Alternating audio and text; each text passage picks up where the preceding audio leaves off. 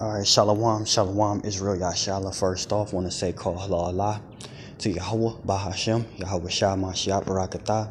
Um, that means all praise to the Heavenly Father, Yahweh, who the world even called God, in the name of also our Lord and our Savior, Yahweh Shah, Mashiach, who the world even called Jesus Christ. Double honors to the elders and apostles of Great Millstone who rule well. Peace and blessings also to the rest of the whole collective censor. I can start with the men of our nation that's making a and living sacrifice for our Lord and our Savior, Yahweh Shah Mashiach, um, to teach and to do so. And also grinding thy loins being men heads of our nation, as the Lord Yahweh require of us.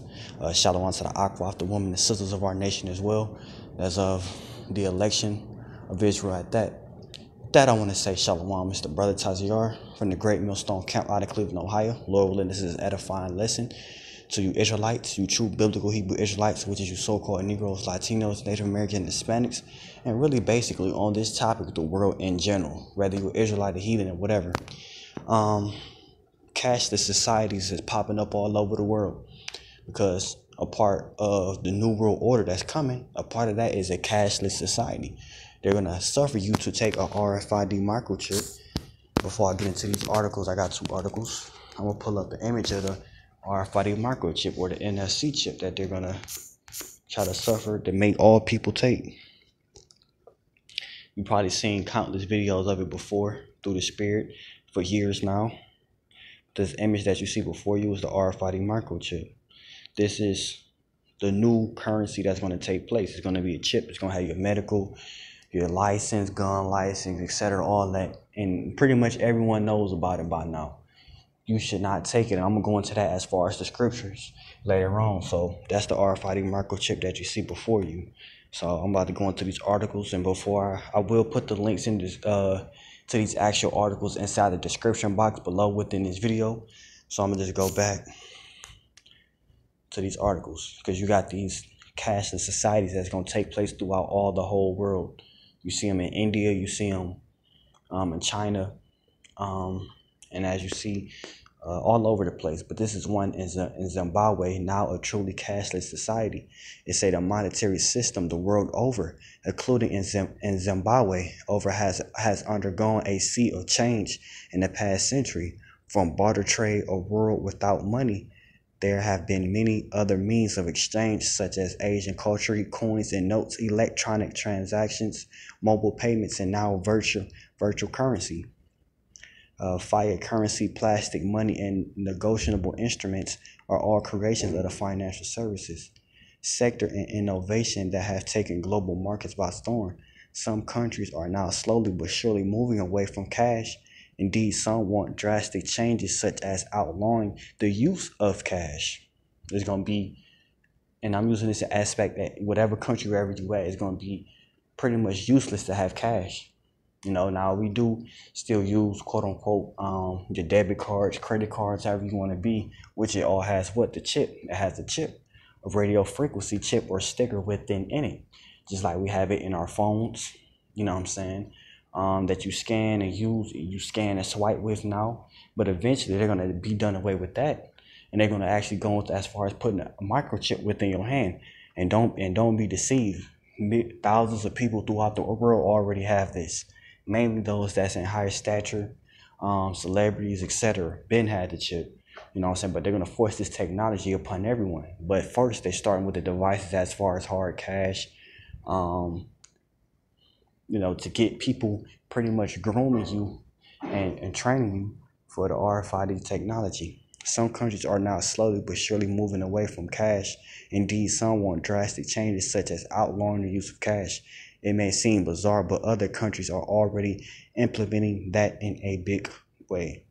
So that shows you here in the Zimbabwe article. Like I said, I'll put this link in the description box. Now I'll jump over to in Britain, Great Britain, over there in Europe. Uh, this from the Guardian. It said cash is Britain over 55s and low earners at risk of being left behind. Um, study warrants banks to adapt offering to help cus- consumers to use mobile or online banking, with um, Britons increasingly turning to digital payments. Consumers aged over 55 and those on low incomes risk being left behind by banks, according to new research. And the reason I say that, majority of people that have less income um, they usually tend to use cash much more. It's more convenient, and they're not having constant, consistently large amounts of money coming weekly or bi-weekly. That's pretty much why they go into that. So nine times out of ten, they're not really uh, buying or purchasing anything pretty much of, of, of a high expense. So they pretty much use cash. That's all it goes into. The findings come in the wake of a major report earlier this month that says more than 8 million UK adults will struggle to cope in a cashless society. You know what I'm saying? And of course, it's going to be because we suffer you not to take that chip. You know what I'm saying? So that's going to be the temptation that you have to take, brothers and sisters. That's that's um woke to the fact that you're Israelite and walking in fear of the Most High. You got to depend on the Lord, Yahweh Shema to provide for you. So we're not going to take that RFID microchip, Lord willing. According to the survey of 3,000 consumers, three quarters of those aged 55 plus never use mobile banking apps, while the figure for low income earners was 57%. In addition, in those in both these categories, one in four, 26% of those surveyed said they never use online banking, an online banking computer. But at the same time, the research from management consulting companies um, Accenture found that only 10% of UK consumers visit bank branches at least once a week, falling to 7% of the people aged over 55. With banks increasingly focusing on their digital platforms, it is important for them to adapt their offerings to ensure certain groups of consumers are not left behind in digital revolution. Peter Kirk, manager, managing director of financial services at Accenture, our research shows that low income earners and those aged over 55 are using branches less, but they are not using digital channels either.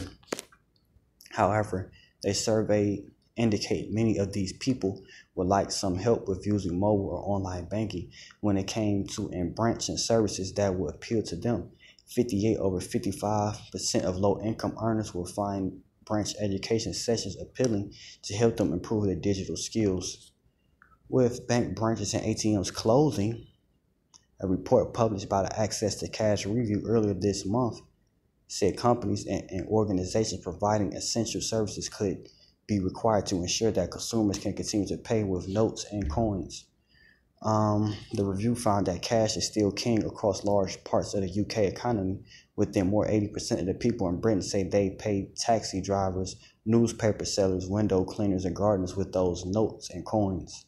The report earns, warned, warned the country cash infrastructure of the costs. Um, is on the verge of collapse because it is declining profitability and said the government, regulators, and banks all need to take action. The review is funded by the Cash Machine Network Link, but was independent from it. Um, reports uh, author said the UK was not ready to go cashless, and that despite the runaway growth of contactless mobile payments. A significant number of people, about 2.2 million, were using cash for all their day to day transactions. So you have a lot of people that's still stuck on the cash, but they're gonna move on. It's a whole world type of thing. This thing, this this this cash, this thing is not just gonna be pushed on America. It's gonna be pushed throughout the whole world. Just like technology is all over the world. All this is a part of the new world order. This beast system that that are trying to take place. But ultimately, it's just here for the major temptation of you Israelites, first of all. You know what I'm saying? That it is about the elect. I will also put this link in the description box as well. So uh, I'm gonna just go get a couple scriptures referencing the RFID microchip. Let me pull up the image of that RFID microchip, or it may say NFC chip, net frequency chip, um, as well. They're gonna have uh RFID um, stickers. You can look up those as well. Those will be placed on vehicles as well. So a lot of this radio frequency identification, pretty much um, tracking systems, all these all these things is going to be um, pushed upon earth, man. This is going to be the end all be all. This is going to be the new cash currency. They're going to be done away with plastic cards soon, right after they're done with cash. So that's what the RFID microchip looks like as you see before your little chip about the size of a grain of rice. You suffer that you do not take it at all whatsoever, or you will be destroyed by the Lord Himself, which that leads me to the scriptures. Through the Spirit and probably how by Shemal Shah. Salakia.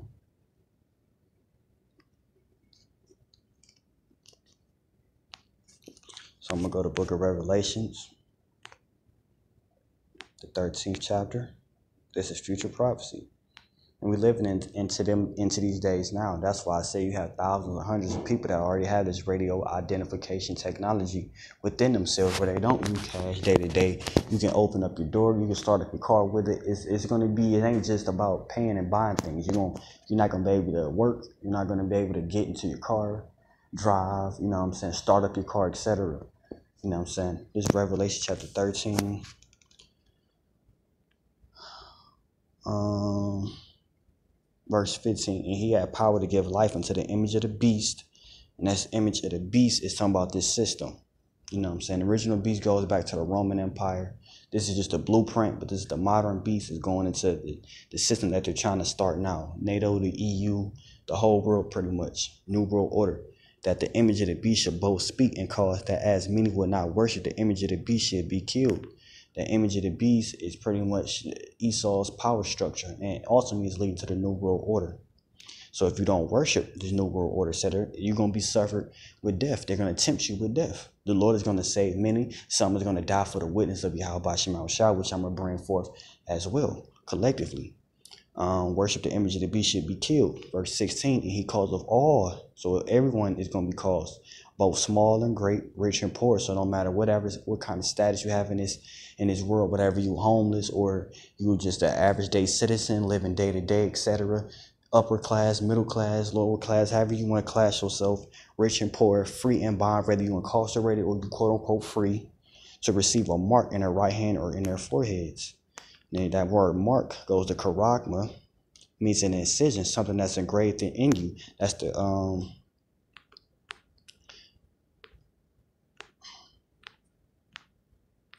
Yes, the Greek word, Greek word charagma, means it's going to be an injection, an incision within your flesh. So you're going to have an actual microchip, the images that I saw you injected inside your right hand or your forehead. Maybe it's your BTTUs. That's where your most warm blood flow goes at. Is either your forehead or in your male, pretty much main dominant hand, right or left. But wherever you take the chip, you get in your forearm, your thigh, etc.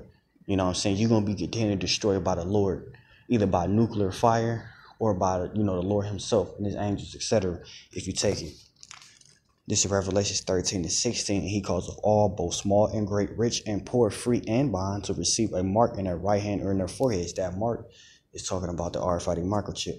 And that no man might buy or sell. Once again, so you don't have an RFID chip, you're not going to be able to buy or sell soon. This is when they make it mandatory. Because people are still buying and selling with cash.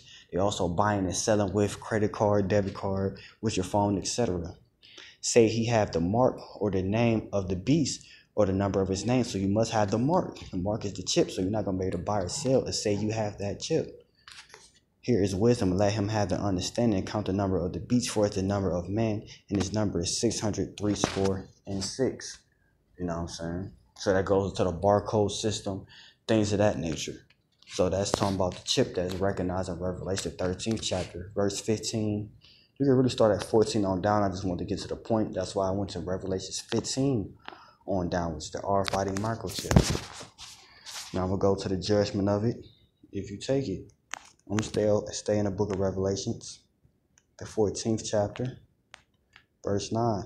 And the third angel followed them, saying with a loud voice, If any man will worship the beast and his image, New World Order, this each this pretty much you making Esau Edom, mankind your God, and receive his mark in his forehead or in his right hand, or in his hand, because here it don't say in particular what hand or what spot.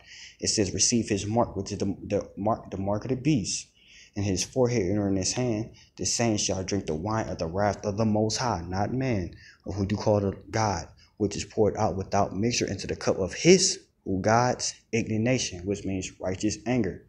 And he should be tormented with fire, brimstone in the presence of the holy angels, in the presence of the Lamb. So there's no repentance from it.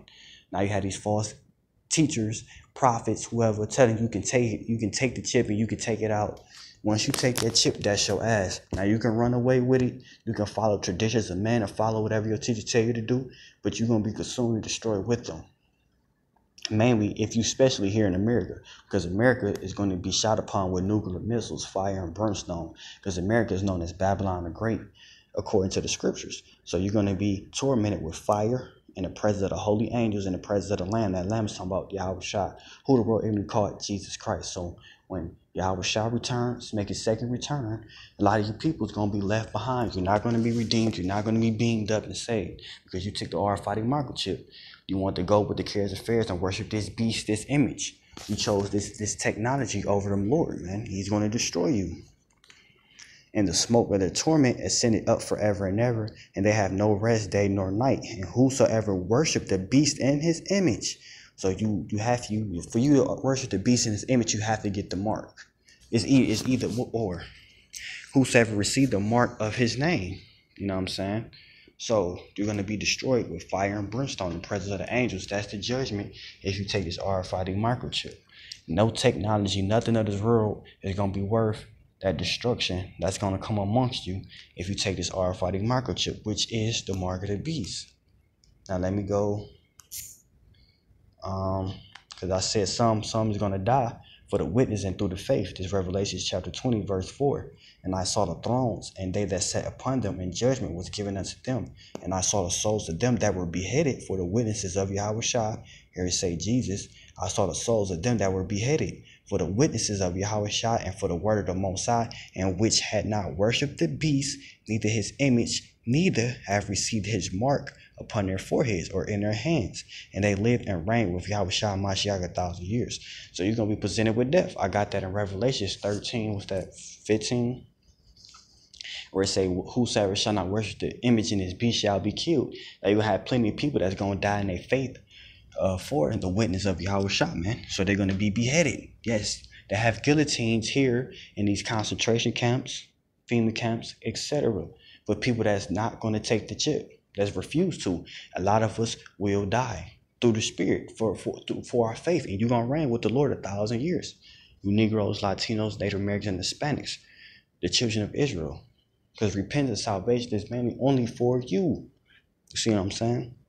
So you have to refuse not to take this technology, man. But a lot of us is gonna die, man, for the witness of Yahweh Bashim Shah, a mass majority is going to be redeemed. You know what I'm saying?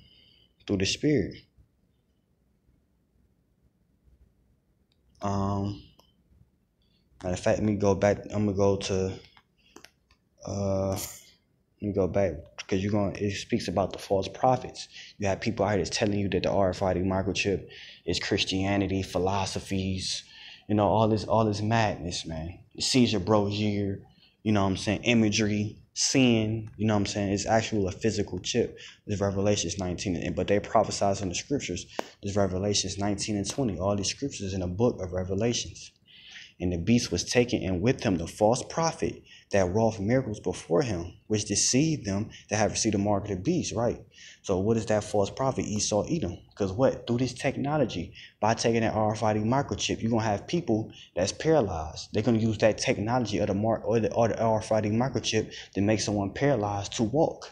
They're gonna they're gonna give people that people that's blind their sight back. People that can't hear, they're gonna receive their hearing back. That's how they're gonna uh through the technology they have that's that's the miracles that they're gonna do, man. You know I'm saying? People with different elements, you know, handicap, they're gonna be able to heal them through this technology, man. Giving people robot hands, all type of stuff, man. You know, it looks real with skin and everything, but you got to take the chip to receive those things. And people, a lot of people are gonna take it. They're gonna be deceived. And the beast was taken with him, the false prophet that wrought miracles before him with which he deceived them that they had received the mark of the beast. What is deceived? You know what I'm saying? Pretty much you think you're doing it for your benefit when really it's for your destruction.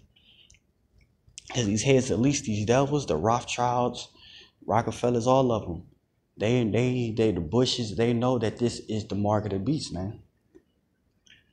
And them that worship his image, these both were cast alive into the lake of fire, burning with brimstone. So that shows you that people that worship this beast in his image and take that chip is going to perish and die with nuclear fire, fire and brimstone, and the fire that comes from the chariots, so-called UFOs, which is the chariots and angels of Yahweh Shah, or who, who people call God. So you're gonna have a lot of people, false prophets, deceiving people. You're gonna have people doing miracles, healing people, getting people uh, fresh, um, what they call that, uh, robotic legs, all type of stuff, getting people their sight back, all type of stuff, curing people health all through this technology, man. You know what I'm saying? And a lot of people's gonna be deceived and they're gonna take it and be destroyed, man. But it ain't gonna be no excuse because the Lord's raising up his prophets, giving you people warning of these things to come. So, like I said, these cashless societies is popping up all over the place through the spirit and power of by Shema Shah. The Lord willing this was edifying. Damn it. Lord willing this lesson was edifying. With that, I want to say, call hello Allah to Yahweh, Bahasham, Yahweh Shah, Bahasham, Rukakadash, Barakatam. Double honor to the elders and apostles, a great millstone who, who will. Peace and blessings, you know, to those who you know, gonna die for the witness of Yahweh Shah Mashiach, and those that's gonna have faith and endure to the end. With that, I want to say Shalom.